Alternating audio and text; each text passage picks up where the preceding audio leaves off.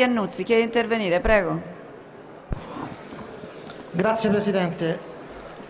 Questo emendamento si chiede di specificare che la partecipazione eh, nel partito può avvenire anche attraverso la possibilità di confrontarsi e di essere informati utilizzando una piattaforma digitale del partito. Quindi io non mi sorprendo che un partito che non ha una cultura moderna come quello del Partito Democratico possa dare un parere negativo ma che addirittura il Movimento 5 Stelle, che è nato in rete e è nato sulle basi della, almeno propagandando la democrazia diretta e partecipativa, si astenga su questo emendamento non lo comprendo proprio. Grazie.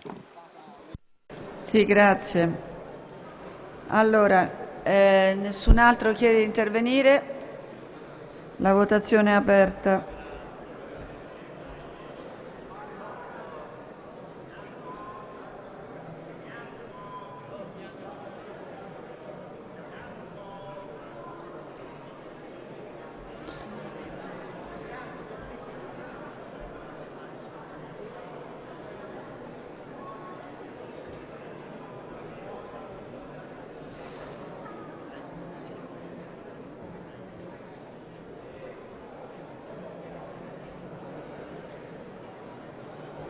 Bene, tutti hanno votato.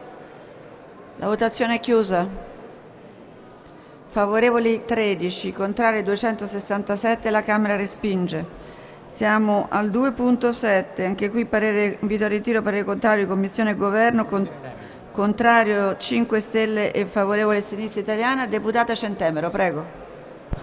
Signora Presidente. Eh, anche in questo caso il principio che si vuole affermare è il principio dell'equilibrio di genere e della parità di genere. In modo particolare mi riferisco anche all'emendamento 2.6 su cui prima non sono intervenuta. All'interno di questo articolo non si chiede solo che il rispetto del principio della parità di genere venga assicurato nella possibilità appunto di associarsi liberamente dei partiti, ma anche nella organizzazione e nel funzionamento dei partiti e specificamente nel 2.71 viene inserito, oltre al riferimento all'articolo 49, anche l'articolo 51 della Costituzione, che è quello nel quale proprio si afferma, è stato affermato anche grazie alla riforma che fu fatta appunto nel 2003, il principio di pari opportunità tra donne e uomini.